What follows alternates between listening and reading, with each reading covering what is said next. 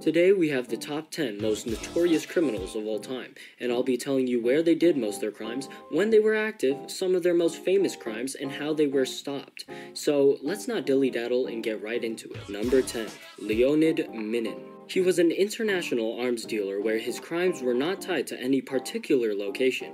Active during the late 2000s, some of his crimes, as you would expect from an international arms dealer, was selling weapons. He was also involved with controversial figures like Charles Taylor and had an association with illegal activities including drug use and trafficking of blood diamonds. Minin was arrested in Thailand in 2007 after a joint operation by Thai and Russian authorities. He was then sent to Russia to face charges charges related to arms trafficking and other illegal activities. Number 9.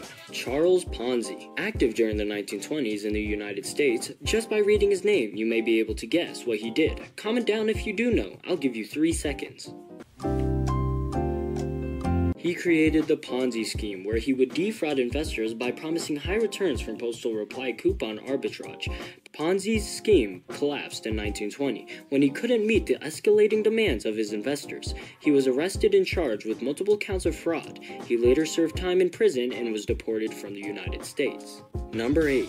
Jesse James, having probably the most generic NPC criminal name in history, resided in the United States, particularly in Missouri. Active during the mid 1800s, some of his crimes included train robbery, murder, support for the Confederacy. Ooh, not a good look. Also, he was involved in the James Younger gang, probably the most generic Western criminal just packed into just one person.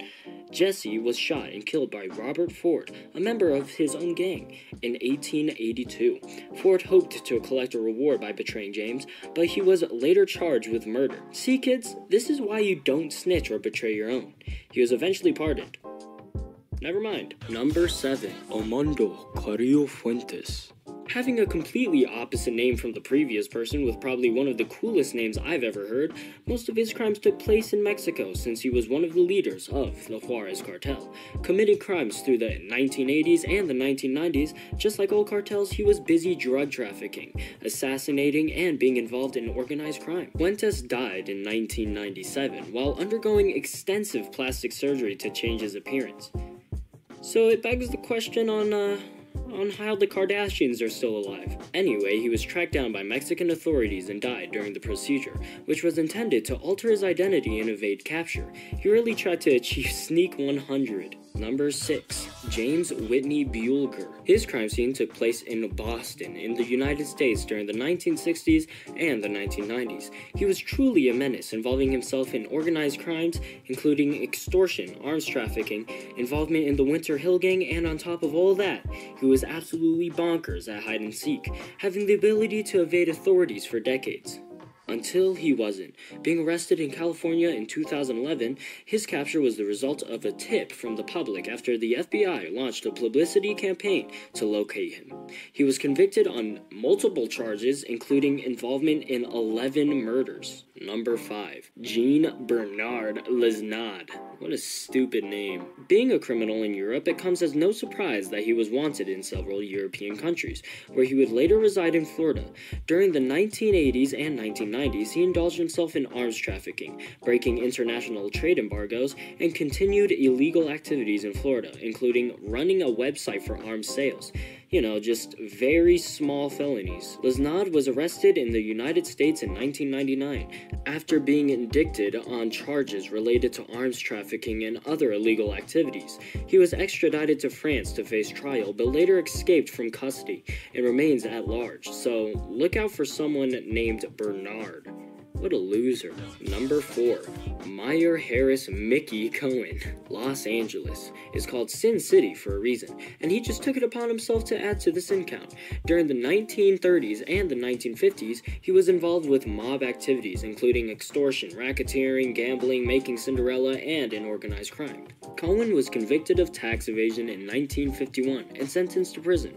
He served time but continued to be involved in criminal activities after his release, where he died of natural causes in 1976. Number 3. John Dillinger. The Great Depression was the perfect time to become a criminal. Just take Bonnie and Clyde, and no, they don't count because they are two and that would be cheating. But while Bonnie and Clyde needed each other, John ran solo by robbing banks, distributing stolen money to the public, multiple jailbreaks, and was considered a folk hero. Dillinger was tracked down and shot by FBI agents in 1934 outside the Biograph Theater in Chicago. His death marked the end of his notorious criminal career, but he remains a legendary figure in American criminal history. If this guy was a hero, I really don't want to know what a villain looks like. Number 2. Pablo Escobar.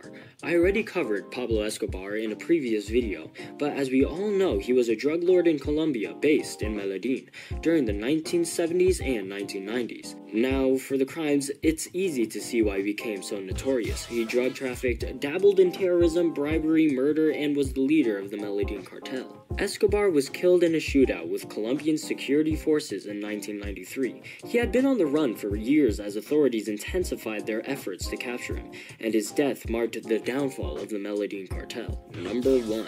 Al Capone who else could it have been? Being based in the United States, particularly in Chicago, Al Capone was most active during the Prohibition era in the 1920s. And man, does he have a resume or what? Crimes include organized bootlegging, violent methods including the St. Valentine's Day Massacre, involvement in various illegal activities including gambling and prostitution. But out of all of those, he was convicted of tax evasion.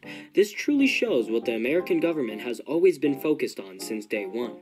He served time in prison and died in 1947. Should you watch this video and think, if I become a criminal, then I will be remembered? No, this video was made to show you what not to do, and don't be a douchebag. I hope all of you enjoyed my video, please like and subscribe, and I will see you in another episode.